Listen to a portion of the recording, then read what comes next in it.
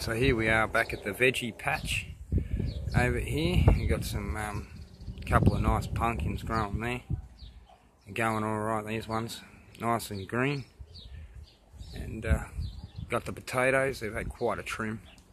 Trimmed them again the other day. So yeah, crimped a couple, just so um, I could make room for these um, other ones in here. I think they're cantaloupe. I'm not sure. I don't think they're pumpkin yeah. So there it is there, and the tops of the carrots are going quite well. They're starting to reach the sprinkler nearly. So yeah, it's about all with this bit. Just a quick update on how it's going.